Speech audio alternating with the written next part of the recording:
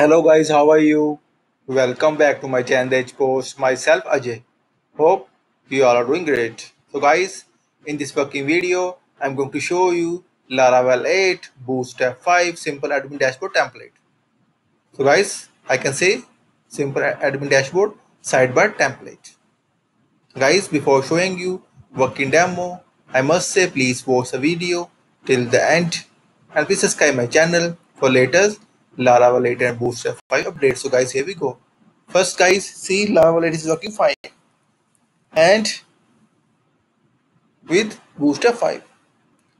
See guys, working well.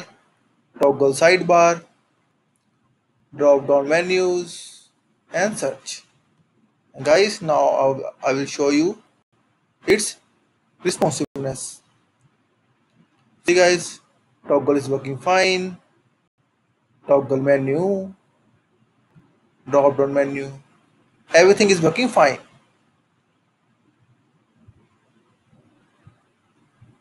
And guys like always i will share the code snippet link inside the video description. So please get the code snippet.